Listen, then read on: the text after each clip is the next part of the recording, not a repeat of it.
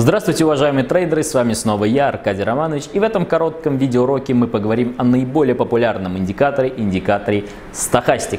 Данный индикатор является осциллятором и по большей степени направлен на измерение силы движения, то есть по нему мы можем понять, насколько сильны покупатели, насколько сильны продавцы, либо когда рынок готовится к развороту.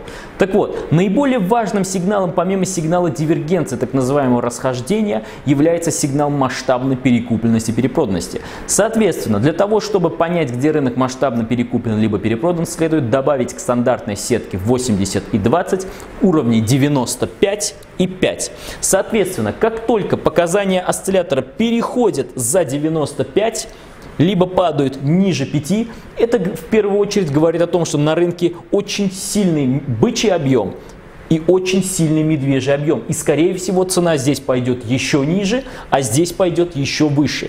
Это в первую очередь сигнал предупреждения, сигнал, говорящий о том, что ни в коем случае здесь не стоит искать продажи и ни в коем случае здесь не стоит искать покупки.